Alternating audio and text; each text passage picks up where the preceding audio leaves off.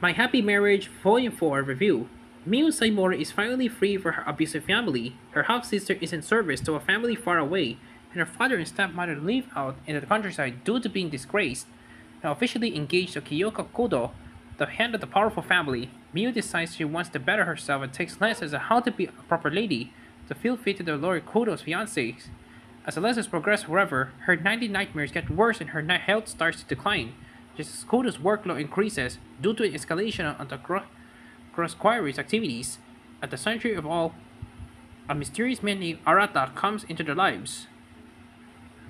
It seems to have a hidden agenda of special interest in Miyu. If you've been watching the Netflix adaptation of My Happy Marriage, currently in syndication at the time of writing this review, then maybe you want to know where Volume 4 lies within the first se- season.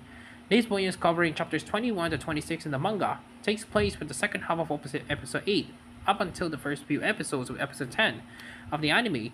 However, the manga and the anime are not identical, while the broad strokes of the story and there are there to put focus on different parts of the material to accommodate their medium. For example, for the first start, the anime version does a great job of fleshing out the world, building for the power levels of the magic users to make the aggressive queries look and feel like a legitimate threat. The same goes with this part of the story. In the anime, we get a deeper look at what happened at the grave and release a bunch of rusty quarries into the world, and the impact it has not only on the safety of the city, but also how important Kodo's role is. In the manga, however, all of this is merely a backdrop. We see working hard, and are told he's coming home later every night. But we see what the grotesqueries look at how or how much harm they're causing. This is on par on par with the course of what we see in the manga so far. The magic and grotesqueries have always felt like second fiddle to the romance, and so they may seem underwhelming here if you've seen the anime first. However, on the flip side, the manga does a much better job at developing the complex feelings of both Miyu and Kodo, and continues to shine how Miyu's abusive past still shapes and haunts her actions. While they do some of this in anime adaptation, the manga goes much deeper and a lot of emotional gut punches the character emotionally driven hit hard here in the manga version as a result. With Kodo at this time. His role in this book has been, has been hands-off regarding Miyu, but it doesn't come off as cold or abusive.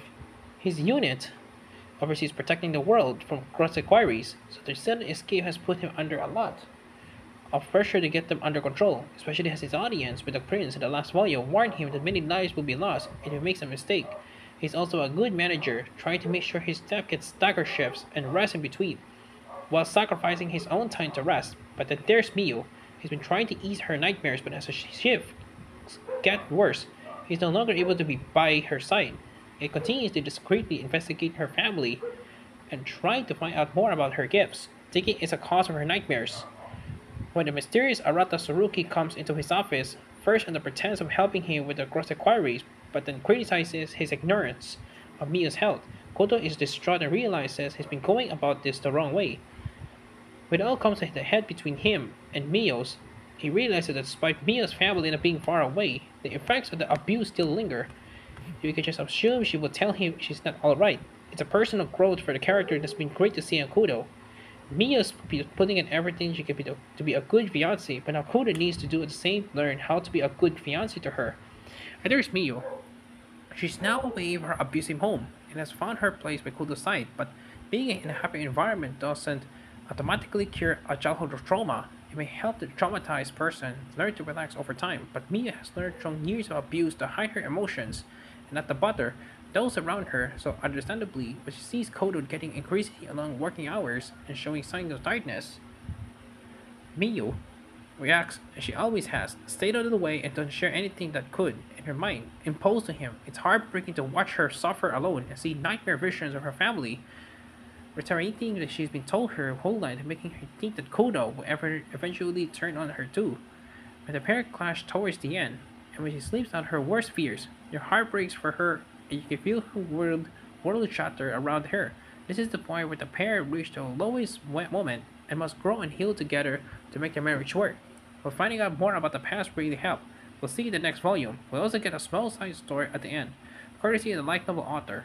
This time, from the point of view of Kodo's sister, Hazen recalls the moment when Kodo asks her to tutor Miyu and reflects on her childhood a bit. It's a nice moment for the character and to also Miyu. see Minyu from the fresh pair of eyes. A lot happens within this volume, but it pays very well as a pair despite having overcome a large hurdle already. I realize there's a lot more that need to learn to get a happy life from happy marriage.